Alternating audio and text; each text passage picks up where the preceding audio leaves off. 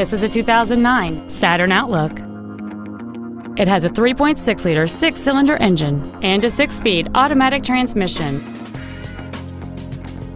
Its top features include heated front seats, heater vents for rear-seated passengers, cruise control, a six-speaker audio system, leather seats, big 18-inch wheels, a rear spoiler, a low tire pressure indicator, speed-sensitive volume controls, and this vehicle has fewer than 60,000 miles on the odometer.